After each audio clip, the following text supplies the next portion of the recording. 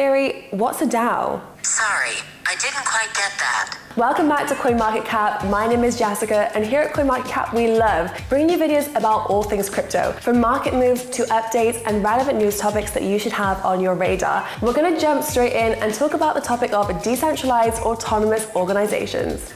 Basics out of the way, in crypto, the term DAO, it floats around a lot. Many of us nod in agreement, but do you actually know what a DAO is? DAO stands for Decentralized Autonomous Organization.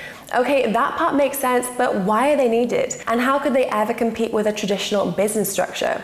Well, you're all familiar with one, if not the first DAO. Any ideas what it could be? Well, actually, Bitcoin is generally considered to be the first fully working DAO because it's a fully running operational protocol without the need for one person or a collective to keep it running. It's been over 10 years and Bitcoin continues to function autonomously. To understand DAOs, first you need to understand the technology that's behind them. DAOs rely on smart contracts, which are collections of code that run on a blockchain and blockchain technology itself. Now, if you think of a company that you work for now in a traditional structure, there's typically a hierarchy that looks something like a pyramid. There's a board of directors, executives, or upper management, and these are the key decision makers. And those at the bottom of the pyramid really don't have much power to make changes or to propose new ideas. If you compare that with a DAO, the rules and governance of each DAO are coded in smart contracts on the blockchain, and those rules cannot be changed unless voted on by the DAO members. So instead of having a select few of the majority say, members of each DAO can also vote on decisions together. So what happens when you start or when you join a DAO? Well, when starting a DAO, the DAO rules are built by a core team of community members through the use of smart contracts. And these smart contracts lay out the framework from which the DAO is to operate. These are visible, verifiable, and publicly auditable, so anyone can fully understand how the DAO works. And when joining a DAO, you agree to the code that's in place. It isn't easy to change the code, and it typically requires votes between all the members. And to obtain voting power or membership in a DAO, you typically need to buy or are given governance tokens, which are cryptocurrencies or digital assets tied to a certain project. Think of these as tokens or voting chips that really enable you to vote on key decisions that could take place inside the DAO. And how could this improve the current business model? Well, I'm going to let Colin Pape, CEO of Presearch, explain. With uh, most of today's centralized big tech platforms, they are making all these decisions behind closed doors. So you can think that they're uh, in some type of uh, you know boardroom and they're saying, "Hey, this is how we think it should be for these people. Here are the you know two options that they get."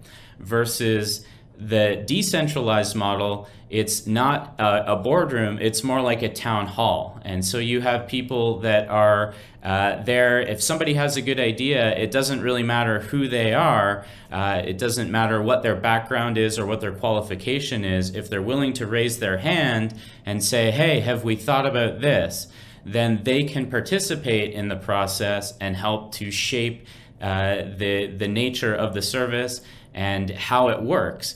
And what that provides is kind of the ability for people to have some type of influence and to have multiple different ways that you can do something rather than one that kind of gets sent down to you. It's an opportunity for people to say, hey, what about this? It's a better way to do it. And if it is, and other people within the community say, hey, that's a great idea, then that idea rises to the top. So it seems like it's a modern and streamlined approach to operating a business. What's the catch?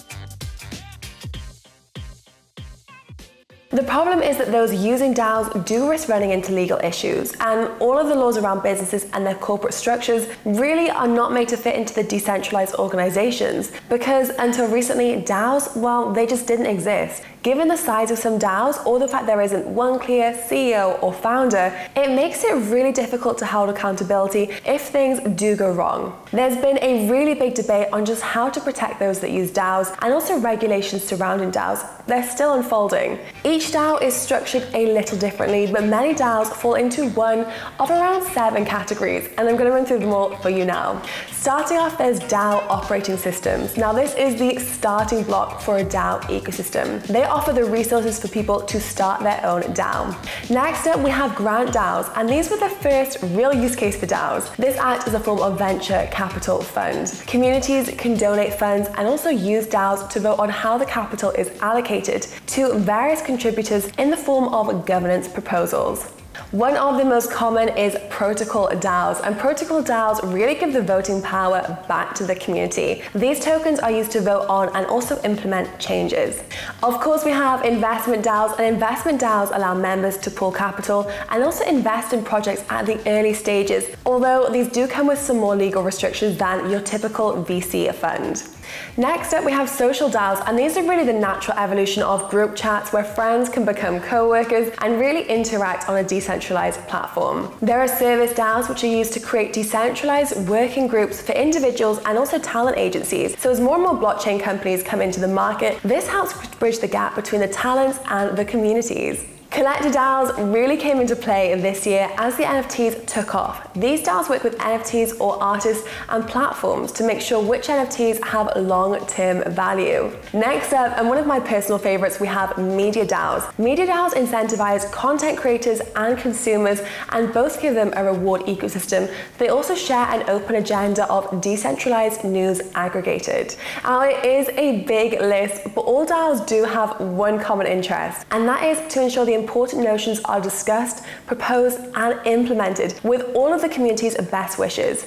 Just because there is some uncertainty around regulation, it doesn't mean the industry isn't moving ahead at lightning speed. DeepDAO, a DAO metrics site, reports there's currently $12.8 billion locked in DAOs and 1.7 million DAO members. The biggest DAO is currently Uniswap, which is a decentralized finance platform. You might have heard of it before. It has over 275,000 members, and the USD value, according to DeepDAO, is currently 2.9 billion.